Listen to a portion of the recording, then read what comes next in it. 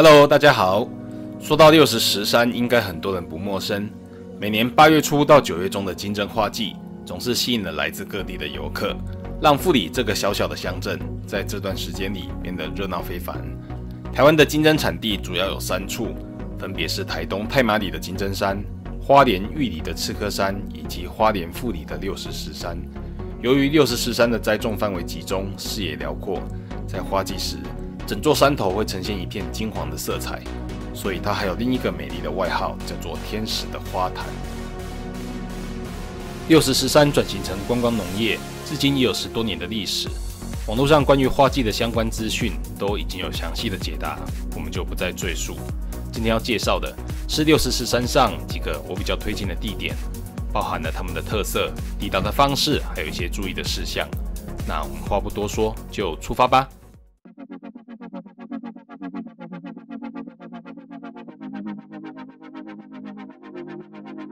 间隔亭位于六十石山山顶的西北方，将车子停在停车场后，向上步行约五分钟即可抵达。由于六十石山的地势凸起于海岸山脉之间，让坐落在此的间隔亭有着绝佳的视野。向北可以看见玉里大桥、五河台地，正前方可俯瞰梯田景致及秀姑峦溪流域。向南，罗山、富里、池上尽收眼底。即使不是在花季前来，也是个非常适合拍摄风景及星空的场域。在停车场的另一端，往望月亭及德森农场的方向，是山上少数种植有机金针的场地，也是山上围山设有景观步道的地方。步道不长且坡度平缓，是个无论老少皆宜的赏花景点。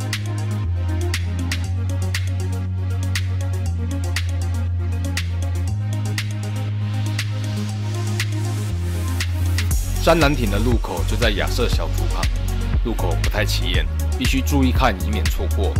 由于路很小条，无法会车，建议可以把车子停在黄花亭的停车场，或是义顺休闲山庄后，用走的进入。山南亭是六十石山最大的凉亭，共分两层，向下望去，可从一片花海之中见到底下的九安溪梯田和众多景致。同它的名字一般，山南亭不但常起山南，而且终年有风，相当凉爽，是个在炎热的花季期间休息乘凉的好地方。听附近的居民提起，山南亭原本是要作为缆车车站的预定地，起点则是在山脚下的罗山村，但由于国内许多缆车经营不善，加上担心财团一旦进入，周遭的小民宿再也没有生存的空间，也让计划一曝光后就招来批评声浪。在多方的反对下，计划也就此无疾而终。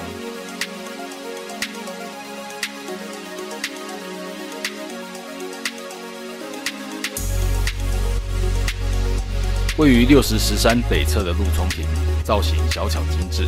凉亭边有一个小型的停车场，但是路非常小条，无法会车，除非骑乘机车，否则建议步行前往。将车子停放在跳舞场后，再走大约十分钟即可抵达。陆冲亭是六十石山我最喜欢的地方，除了独特的环形梯田景观，凉亭附近有相当多的大石头，让整片的金针花海多了些层次感。加上地势陡峭，散发出一股独有的风貌。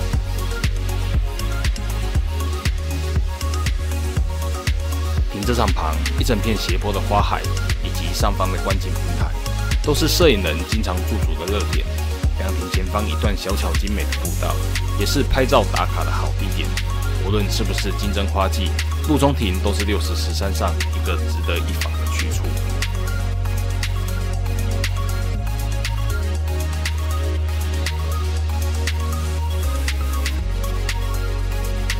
在花季期间，小瑞士景观平台是六十石山人流最多的地方。由于位于路旁，占尽地利之便，是载客司机的必停景点。后方陡峭的山壁在金针盛开时非常的壮观，前方的平台可以饱览六十石山山顶的美景。对于行动不便的旅客或是老人家，这里是个很适合的景点。因为抵达容易，此处的缺点就是车流量很大，但停车空间有限，所以如果自行开车，必须先让乘客下车后，再开到后方约两百公尺外的空地停车。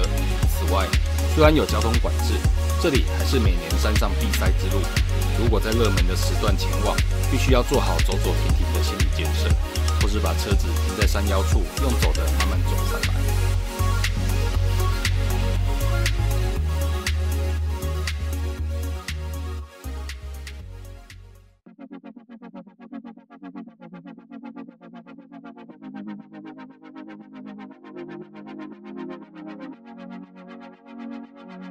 屹立在六十石山最高点的忘忧亭，海拔九百六十四公尺，是山上最著名的景点。这里不但可以一览六十石山全貌，也可以远望花东纵谷或是对面的中央山脉。每到花季期间，山顶的空地总是兵家必争之地，从半夜到清晨，都会有摄影爱好者来此聚集。不管是星空、花海、云瀑、山景，这里都是一个非常适合的场所。将车子停在后方的停车场，走上台阶约三分钟后即可抵达忘忧亭。因为停车空间有限，在花季期间常常是一位难求。如果没有位置的话，必须和小瑞士平台一样，先将车子向下停到约两百公尺外的空地，再漫步上来。在忘忧亭旁边，还有一条很容易被忽略的梦幻星光步道，非常值得一逛。从忘忧亭走到步道的另一头，只需大概十分钟的路程。如果不想走回头路，也可以请司机先将汽车开到步道另一端的大勇山庄等待。由于此区是六十石山种植金针的最高点，拥有不输给忘忧亭的景观及广阔的花海，上头还有座小巧可爱的土地公庙，在蓝天白云之下，吹着凉风，走在一片花海之中，让人非常心旷神怡。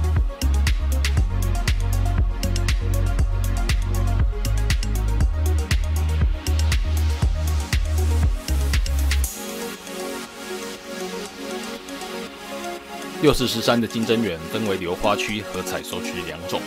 流花区顾名思义就是有申请流花补助作为观赏用途，不可任意采收。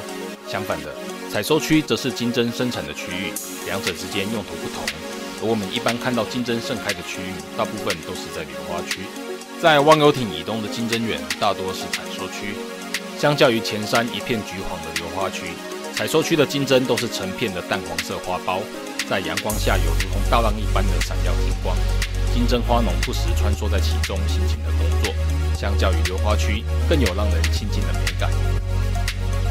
在抵达小瑞士平台之前，有条不起眼的小路，可以通往大勇山庄前方的空地。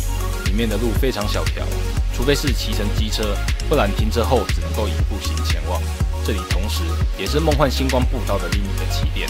若是前往忘忧亭的车辆较多，也可以将车子改停在这里，再漫步上山。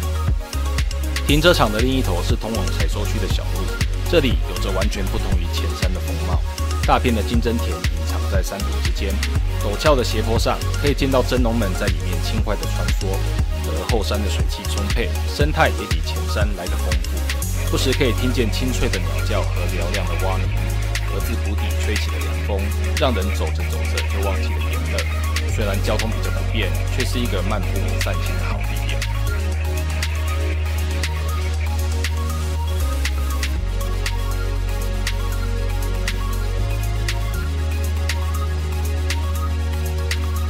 头目民宿后方的小山丘是另一个较鲜为人知的景点，路一样很小条。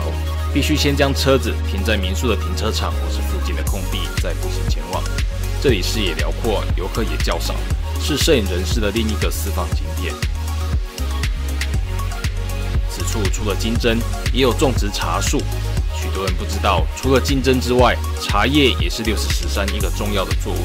生产的蜜香红茶不但包装精致，泡起来的茶散发着淡淡的清香，是个美观又大方的伴手礼。